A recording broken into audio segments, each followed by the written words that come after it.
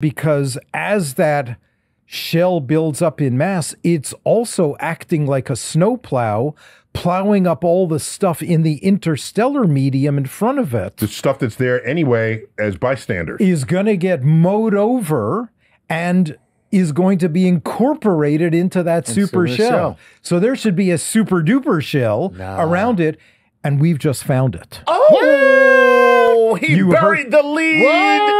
You heard it here. What? So we've been using a gorgeous new, not expensive telescope, Oh, the kind of telescope that so-called amateurs use, refracting telescopes. Six of them bolted together in parallel, and we stared at T Corona Borealis for about 100 hours. They're not in darkness for 100 hours. I just want to make that clear. oh, Right, okay. Right, right. Yeah. They get the, the dark stuff tonight. Right. They close the hatch. down, and then tomorrow night, pick it up we're again. back at it. Okay, back at it. Okay, Right. go.